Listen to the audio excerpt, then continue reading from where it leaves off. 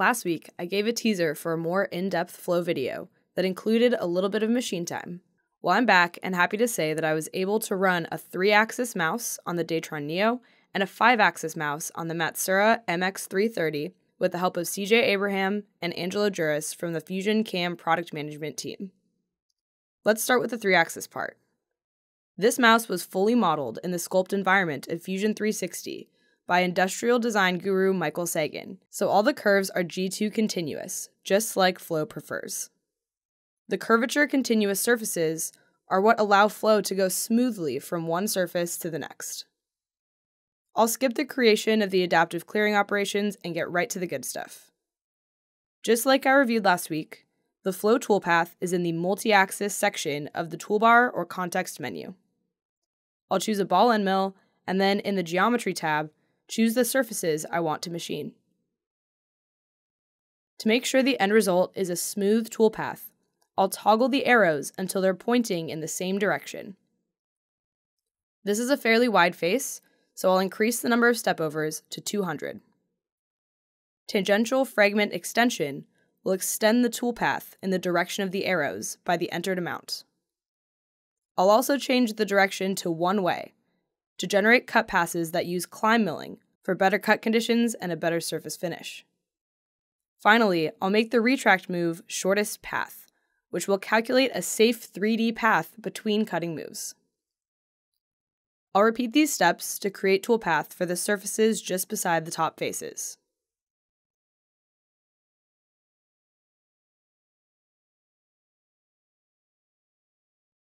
Now that the top toolpath is generated, I can see how the passes extend beyond the selected surface. Now I'll apply some flow to these side faces. One trick with flow is to select all the surfaces, and if the majority have the vector arrow facing the wrong way, just go to the Passes tab and toggle the isometric direction.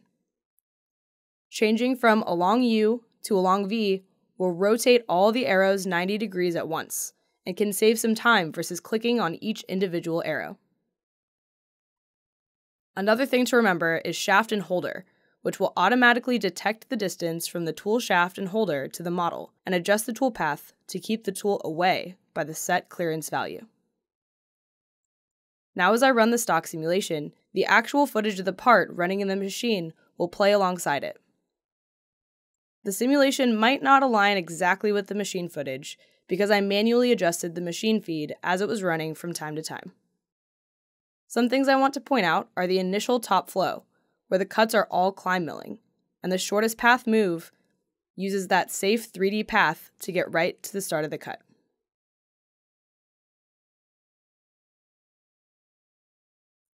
There are also some tight clearances on the sides, and the tool actually starts to retract about halfway through.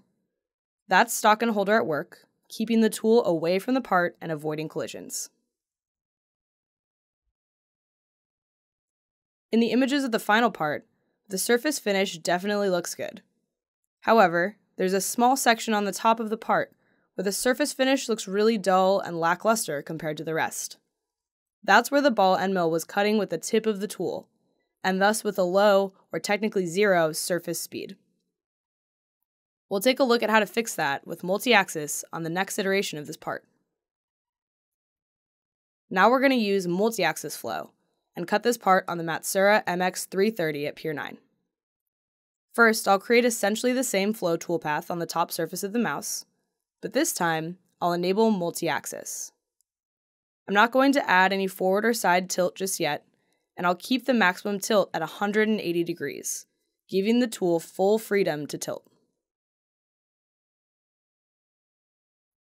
In the simulation, I can see from the show axes and from the orientation of the tool that the tool stays normal to the surface by default. This means that the ball end mill would cut with the tip of the tool for the entire cut, which won't help the surface finish or cut conditions. To fix this, I'll go back and add a side tilt of 25 degrees. I'll also limit the tilt with a max tilt of 45 degrees. One way to picture how this will affect the toolpath is that the tool tilt is constrained to a cone of that angle.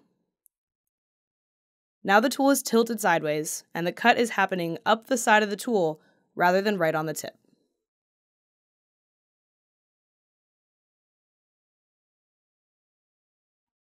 I'll use the same principles to create toolpaths for the rest of the mouse. As I go through creating these toolpaths, I'm adding side or forward tilt to keep the cut off the tip of the ball end mill, and entering a max tilt angle to keep the tool from colliding with the vise or the stock.